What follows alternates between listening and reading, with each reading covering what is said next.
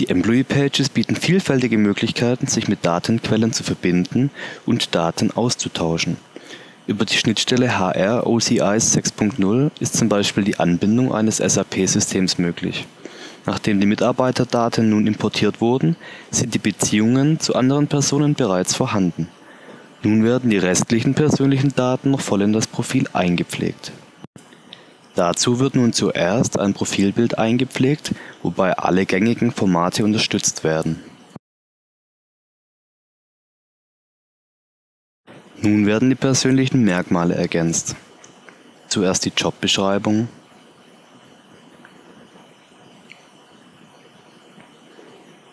dann die Qualifikationen,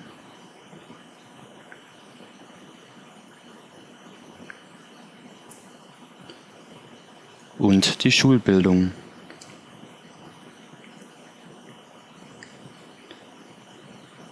Zu guter Letzt noch die Hobbys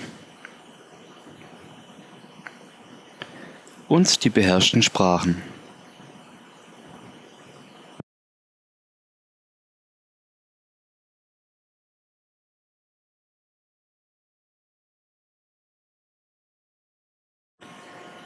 Nun wird das Profil noch um zwei persönliche Dokumente ergänzt.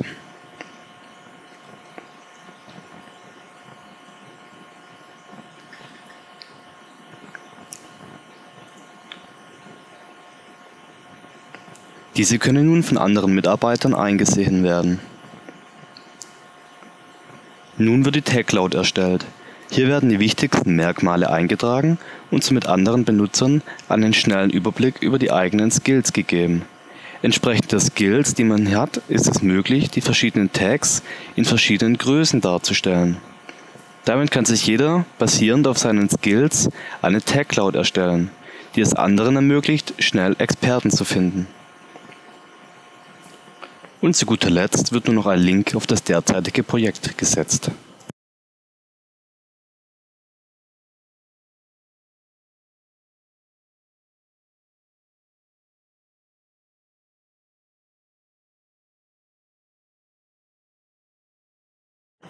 Wie man sehen kann, wurde das Profil in kürzester Zeit vervollständigt durch eine sehr einfache und schnelle Möglichkeit, Änderungen durchzuführen